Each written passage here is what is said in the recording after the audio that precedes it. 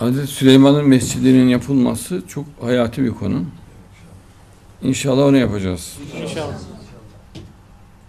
Yani tonlarca altın kullanacak 24 ayar. Aynısını yapacağız. İnşallah. Daha geniş ve daha güzel, daha kapsamlı olarak yapacağız. Hazreti Süleyman'ın sarayını da yapacağız. Ecdadın bütün o güzelliğini yeniden ihtişamla kuracağız.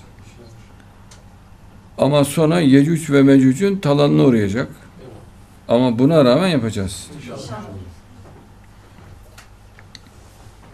Yecüc ve Mecüc Mehdi'den sonra çıkacaktır.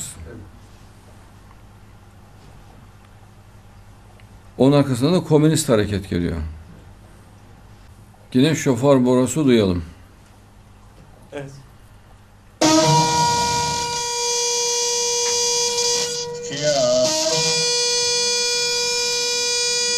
Zwei, vier, Evet.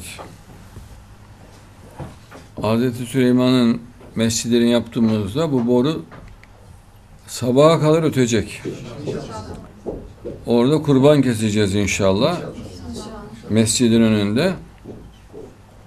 Kurbanı bir tane, iki tane, on tane kesmeyeceğiz. Yani yüzlerce, binlerce kurban keseceğiz. Geniş ocaklarda pişecek. Kokusu diyor Jeriko'ya kadar yayılacak diyor. Bütün Kudüs mis gibi kebap kokacak böyle.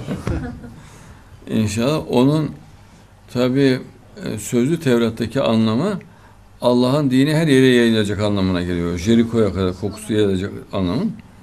Çünkü e, Jeriko çok uzak Kudüs'ten. Oraya kokunun gitmeyeceği belli. Oraya o imanın heyecanı yayılacak. Her yere imanın heyecanı yayılacak. O anlamda gelir.